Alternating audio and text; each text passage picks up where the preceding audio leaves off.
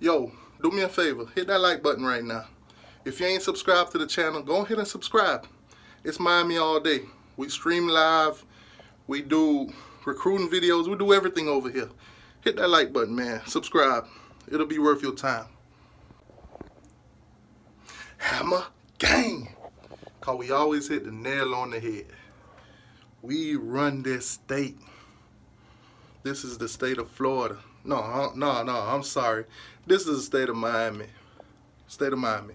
Now check this out, my Miami Hurricane fans. Five star athlete James Williams. James Williams has committed to the University of Miami.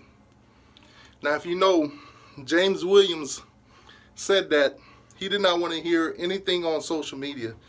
He just wanted to see Miami win. So us Miami fans and probably Georgia fans because Georgia and Miami was in his top two. Those were the two schools that was that it came down to.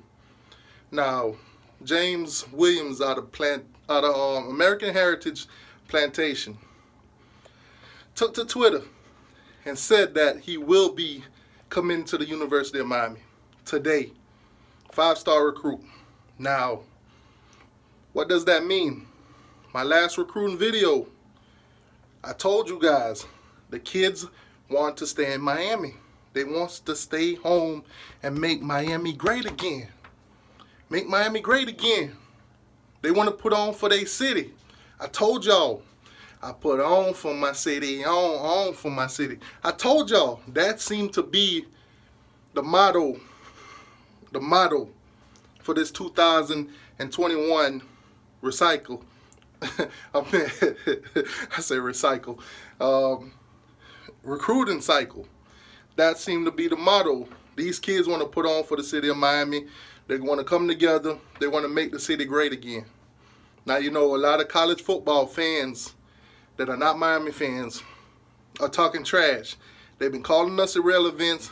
You know, they've been saying that the city of Miami ain't nothing. And these kids, they see it just as much as we as fans see it most of these kids has grew up as UM fans. So to see them wanting to stay home and play for the home team, it's a great look. Now, the great the great thing about it too is we are keeping them here in Miami. They're not going to Florida State. They're not going to Florida. Now, for me, all we have to do now is lock down the rest of the Palmetto 5. Now, Savion Collins is already committed to Miami, but he's not solid. There's a lot of Gator talk going around when it comes to Savion Collins, so let's just hope that, you know, all it is is talk and he end up um, committing to Miami. Let's hope a lot of these guys do commit to Miami. Now, what does it mean to have um, James Williams on Miami's recruiting class? He's our first five-star sign. Well, not well commit he's our first five-star commit. Hopefully we get some more down the line. But we was ranked number 12 in the recruiting class. When he signed, we went up to number 11. Now, it's not a big jump, but it's a push in the right direction. We get a couple more guys to sign, and we will have a solid 2021 class, considering that we just came off of a 6 and 7 season with losses to FIU, Duke, Georgia Tech, and LA Tech. Let's keep that in mind. So seeing what we're doing in this recruiting cycle is amazing. Miami has potential to be great. We just got to put it out there on the field. Manny Diaz has made great step in recruiting. He has done great in the offseason, whether it's hiring coaches, replacing coaches, you name it.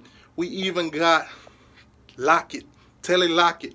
Now, if you know Telly Lockett, you know that he's a big name when it comes to Miami. So, sky is the limit. Anyways, guys, hit that like button. Subscribe if you're new.